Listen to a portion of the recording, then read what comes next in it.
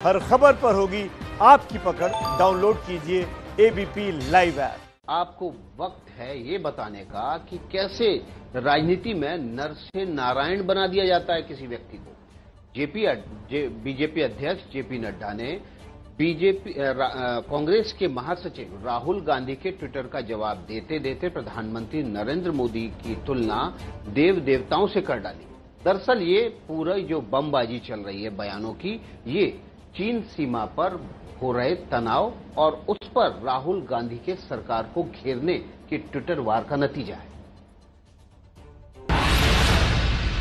आपका तो भगवान भी अब साथ नहीं दे रहा है।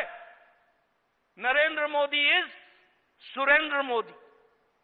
वो नरों के ही नेता नहीं, अब सुरों के भी नेता है।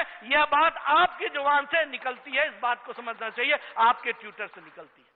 इसलिए भगवान भी शुभ सोच रहा है, इस बात को समझना चाहिए। You should understand the language of God Modi ji नरों के ही नेता नहीं, नरों के ही राजा नहीं, सुरों के, देवताओं के भी राजा इस तरीके की भाषा बनती है, ये हमको समझना चाहिए।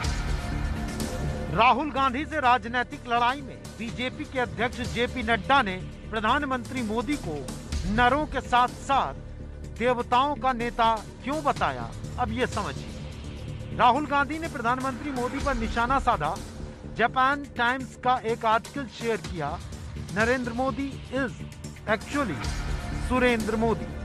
दरअसल राहुल गांधी लिखना तो सरेंडर चाहते थे, लेकिन स्पेलिंग गलत हो गई और राहुल ने सरेंडर की जगह सुरेंद्र लिख दिया और खबर लिखे जाने तक सही भी नहीं किया था। राहुल के इस ट्वीट के बाद उनका खूब मज़ाक उड़ा। एक ट्विटर यूज़र ने राहुल को सुरेंद्र का मतलब समझाया तो एक ट्विटर यूज़र ने राहुल की जिनपिंग के साथ तस्वीर शेयर कर दी, लिखा, आप यहाँ हैं। राहुल की इसी गलती को बीजेपी अध्यक्ष जेपी नड्डा ने तूल दी।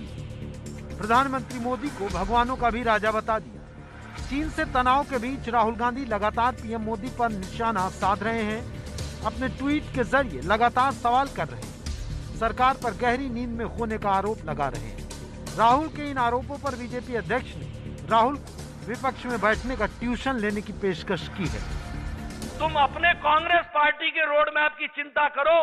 वो नीचे ही नीचे जा रही है, हर दिन जा रही है। विपक्ष भी करने नहीं आता।